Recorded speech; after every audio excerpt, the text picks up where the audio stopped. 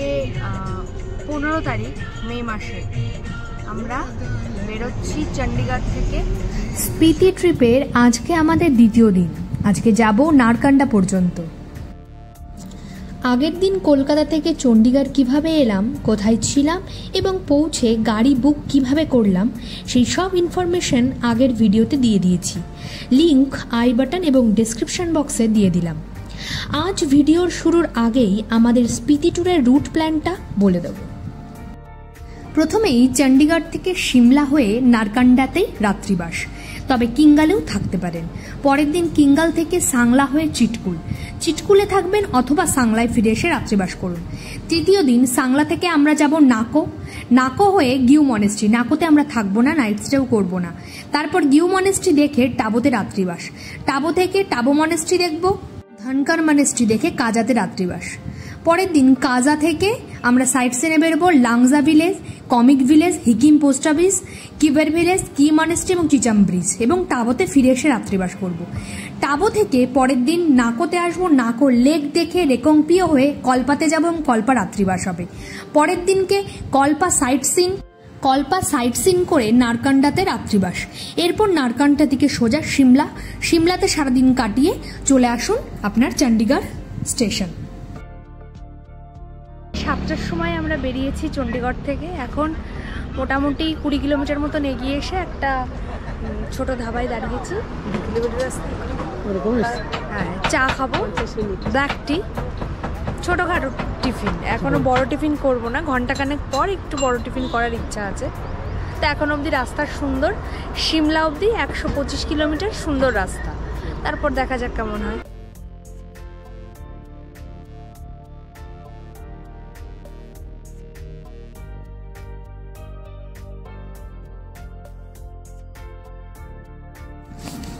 চণ্ডীগড়ের চারিদিকে পাহাড় দেখা গেলেও ঠান্ডার নামমাত্রও কিন্তু নেই। চণ্ডীগড়ে রয়েছে বেশ কিছু মিউজিয়াম পার্ক এবং দেখবার মতন জিনিস। তো আপনারা চণ্ডীগড়েও কিন্তু এগুলো দেখে নিতে পারেন। এখানে রুটি পাওয়া গেল না পরোটা আছে। তাই সামনে যেখানে রুটি পাওয়া যাবে সেখান থেকে রুটি খাওয়া হবে।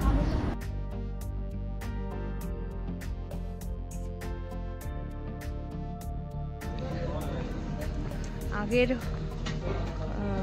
হোটেল থেকে আমরা তো রুটি পাইনি তাই পরে আর একটা হোটেলে এসেছি এখান থেকে দেখা যাক পাওয়া যায় কিনা রুটি নয় এদিককার সকালের প্রধান খাবারই হলো আলুর পরোটা খেতেও কিন্তু বেশ ভালো দু একটা হোটেল ঘোরার পরই আমরা বুঝে গেছিলাম এখানে সকালে শুধু আলুর পরোটাই পাওয়া যাবে এবং খেতেও বেশ ভালো ये क्या बन रहा है दाल फ्राई दाल फ्राई होगा लो, मसाला पक रहा है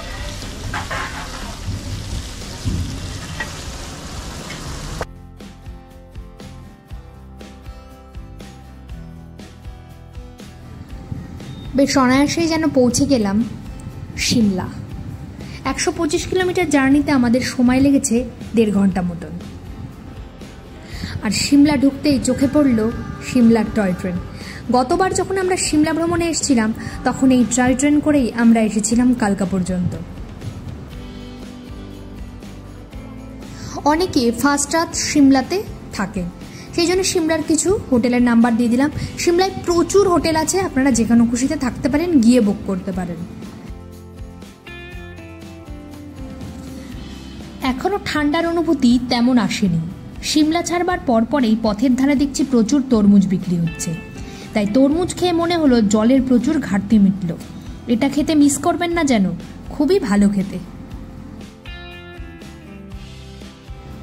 আর একটা ব্যাপার লক্ষণীয়, সিমলা ছাড়াবার পরপরই কিন্তু এই ঘন, লম্বা পাইন গাছ আপনার চোখে পড়বে।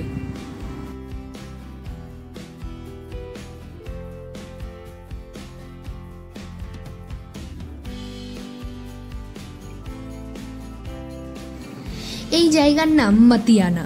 এখানে দেখবার মতো জিনিস হলো, চারিদিকের পাহাড়ে দূর থেকে মনে হবে সাদা বরফ পড়ে আছে। কিন্তু ভালো করে দেখলে বোঝা যাবে এগুলো সব নেট যা টানানো রয়েছে আপেল গাছের গায়ে। আমরা যেমন লিচু গাছে দিয়ে রাখি হনুমানের উৎপাতে, এখানে তেমন শিলাবৃষ্টি থেকে বাঁচানোর জন্য দিয়ে রাখা হয় নেট। দেখতে এত সুন্দর লাগছিল যে কি বলব। তবে সেপ্টেম্বরের পরে এলে এই হাজার হাজার গাছে থাকবে লক্ষ লক্ষ আপেলের স্বাদ আর তার পাশেই রয়েছে মাতিয়ানা হকি স্টেডিয়াম।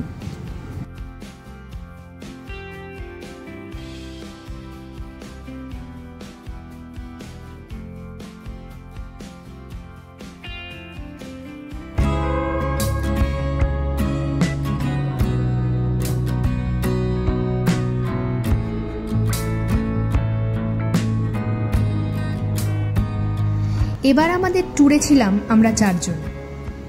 কোনো এজেন্ট ছাড়াই, কোনো গ্রুপ ছাড়াই আমরা চারজন মিলে এই ট্রিপটি করেছিলাম। চারপাশের পাহাড়ের ভূমির বৈচিত্র্যতা দেখতে দেখতে আমরা এগিয়ে চললাম আমাদের ফার্স্ট ডেস্টিনেশন নারকান্ডার দিকে।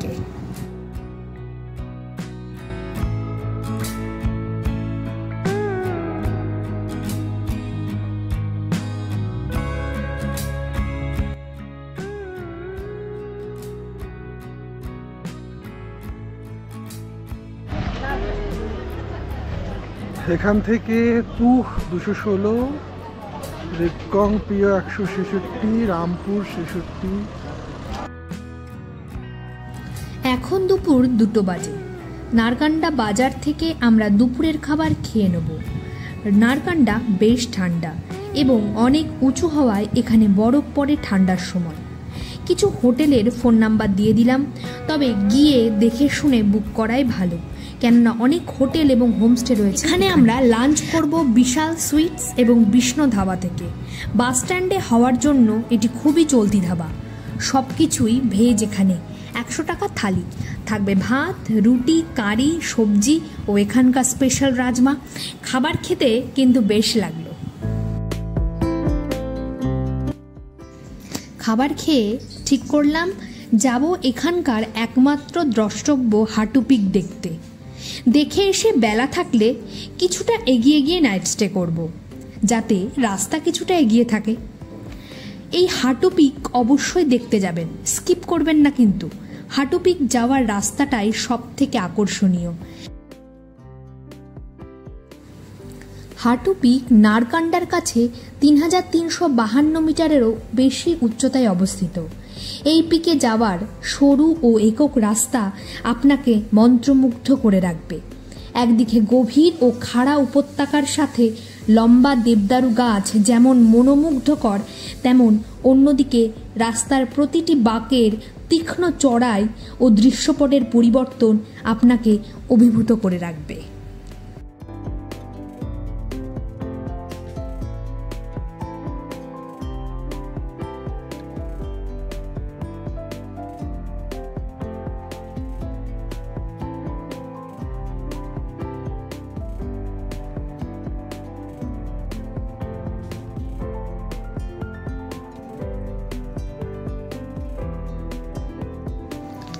আরও বেশ কিছুটা উপরে উঠলে রয়েছে হাটু মন্দির।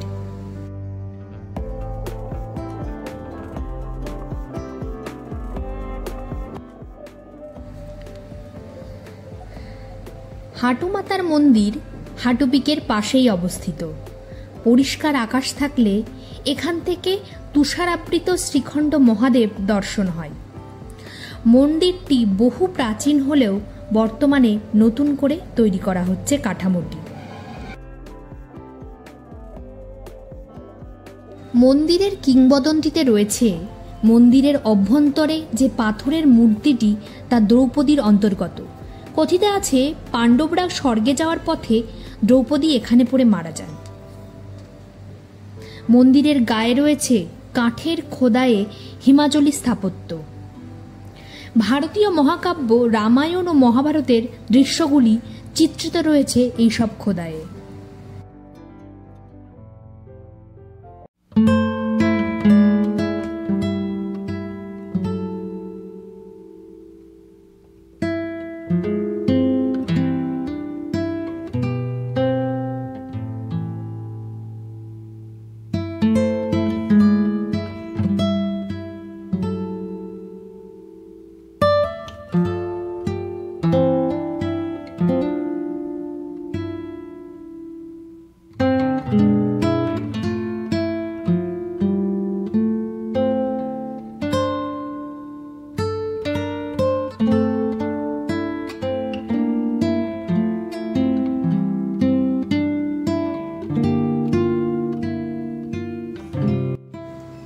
ভীষণ ভালো লাগল, তবে মনে লেগে রইল পৌঁছানোর পথখানি। বেলা থাকার দরুন আমরা ঠিক করলাম কিছুটা এগিয়ে গিয়ে রাত্রিবাস করব।